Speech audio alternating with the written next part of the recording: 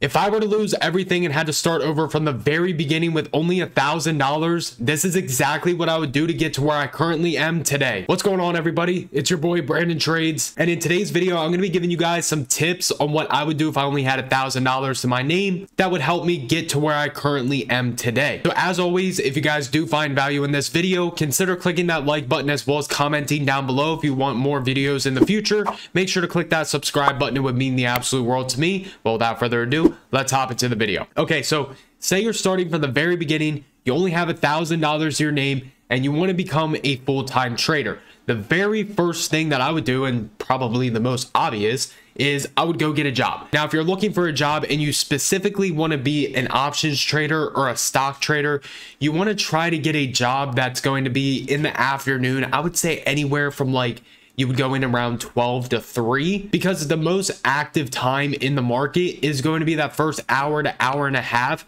so you don't really want to miss that because you're at work, because that's going to be the best time for you to be able to sit here and actually look at the market and eventually be able to trade the market. So again, you want to get a job, but you want to look for hours that are a little later in the day. And if you're somebody who can't really get away from working during that first hour of the market open, I do have a video specifically for swing trading, how you can swing trade while working a full-time job. If you guys do want to see that, I will be leaving the link to that down in the description. So make sure you guys do check out that video video if you're somebody who has to work during that first hour of the market open. So now that you have a thousand dollars and you have a job, you now have money coming in. That's going to be the most important thing. Now from there, what you want to do is you want to take around, I would say 200 to $300 of the $1,000 that you have and you want to put that into education. There's no reason to buy an $800 course. Those are not needed. You can find a majority of your information in trading books or even on YouTube for completely free. Like this channel right here, over 800 videos teaching you on how to trade. So if you want to find some information, it's more than likely on my channel. But if you do want to go the book route, there's tons of amazing books on Amazon the three that I'm going to highly suggest, and then the fourth one obviously is going to be my book, but we'll get to that the very first one is going to be technical analysis of the financial markets. This is pretty much referred to as the holy bible of trading. So I would definitely get this one. I think right now it's only like maybe 40, 50 bucks.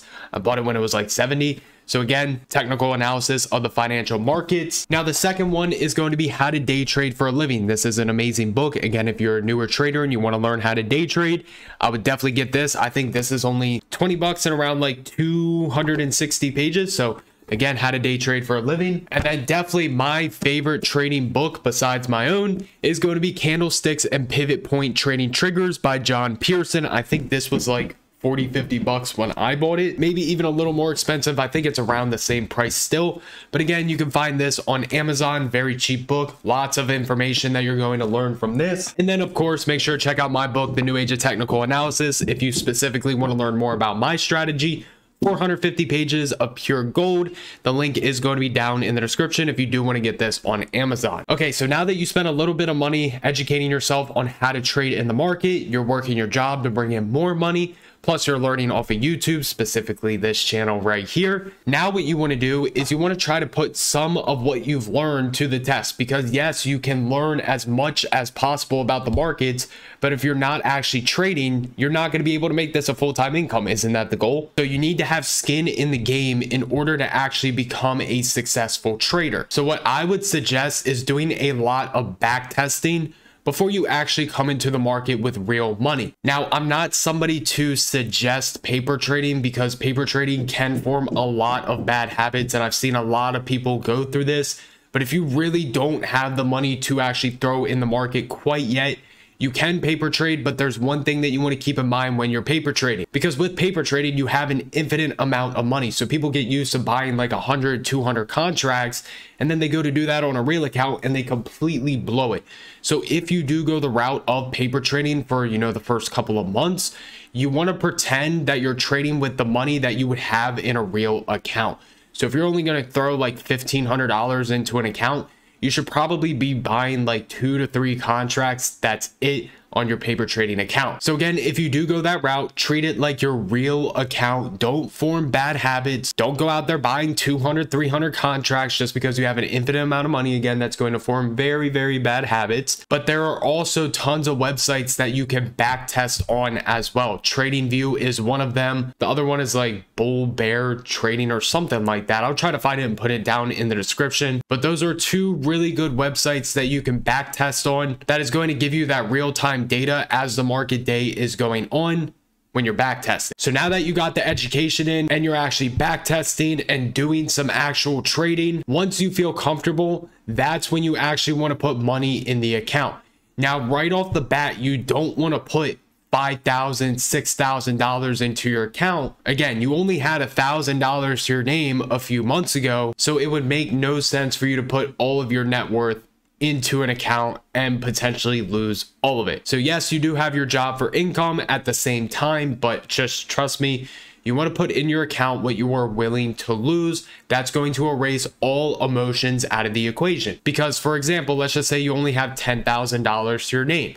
Well, if you put $8,000 into your trading account and you lose a thousand that you need for bills, food, car payment, rent, whatever it is, you're going to have an emotional response if you have a losing trade. And the last thing you want to do is trade with emotions because more than likely, as a result, you're going to lose the rest of the account. And that's going to hurt you in the long run because you needed that money. But now let's say you have $10,000 and you put in let's just say 500 okay well if you lose 50 bucks you know so what big deal? You still have 9500 more dollars to your name. When you're actually trading with real money if it's more money than what you're willing to lose you're going to have that emotional response. If you already accept the loss before you even get into the trade you're going to trade with less emotion and that's ideally what we want in the market. Now your first year to year and a half it's going to be a lot of trial and error. You're going to have a lot more losses than usual but you just got to stick through it you got to learn the art of risk management because in reality, there's 50 50 probability that we're going to make money in the market.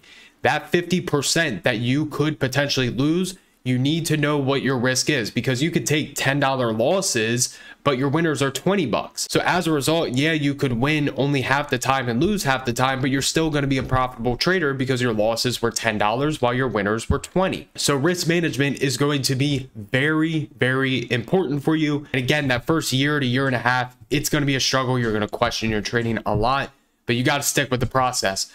The other thing that I highly suggest you do as a new trader, you can actually learn three times the amount of information at once. So you can learn more than somebody who's been trading for three years within one year if you do these three things. So first off, after your trade, what you want to do is you want to go back and you want to recap it. You want to do a whole journal of what you were seeing in that trade, where your stop loss was, your take profit points. So let's just say I ended up going long on USD JPY, which is currently a swing that I am in. I ended up switching from a short position into a long position. So I would go through my journal. Okay, why did I end up flipping long? Because as we can see on the daily time frame, we continue to hold that 8 EMA.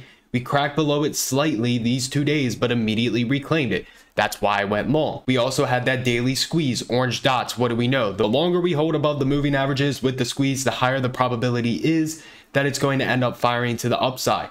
Where's my overall price targets? This high right here, of course, I've been trimming on the way up and moving my stop. But where was my original stop loss? Below the daily 21 EMA. Why did I choose there?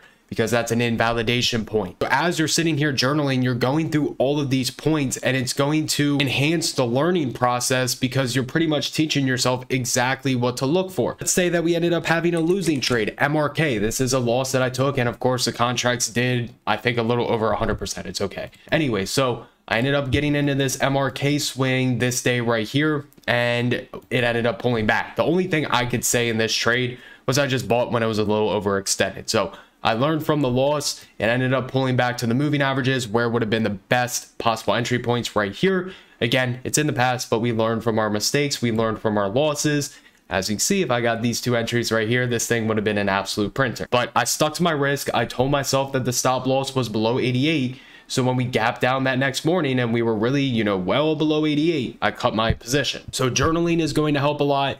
Recording your trades is going to help a lot because when you're actually trading, everything's moving so quick. So you are learning from trading itself.